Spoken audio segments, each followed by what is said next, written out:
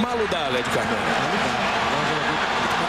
Vamos ver, Frank Ribéry ganhou a jogada pela esquerda, faz o cruzamento, olha o gol, tocou mal na bola! Na entrada da pequena área, Govu perde uma chance claríssima de gol para a seleção francesa. Grande jogada pela esquerda, Ribéry aparecendo com talento, resolvendo a jogada, chegando à linha de fundo. Sanhá fica ali na marca do pênalti, Gourcuff faz o cruzamento, bateu direto pro gol! Muslera!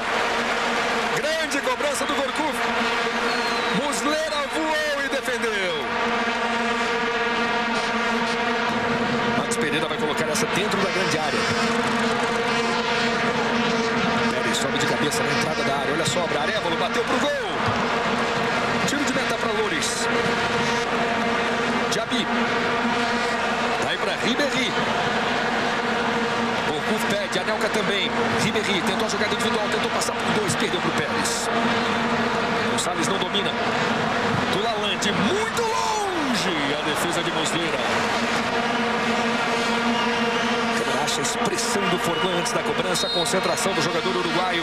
Lá vem Forlan, bateu a falta na direção do gol, não deu rebote Loures.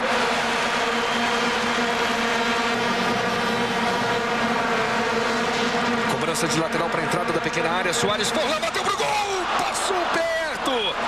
Talvez o lance de maior perigo em todo o jogo a favor da seleção do Uruguai. Cobrança de lateral para o Luizito Soares. Forlan ajeitou o corpo e bateu mal. Lédio, o Lodeiro recebeu um cartão amarelo, vai ser expulso. Vai ser expulso o Lodeiro. Lodeiro recebeu um cartão amarelo com 66 minutos de jogo. O garoto foi expulso. É estreia de Copa do Mundo aí. O desespero do Nicolás Lodeiro foi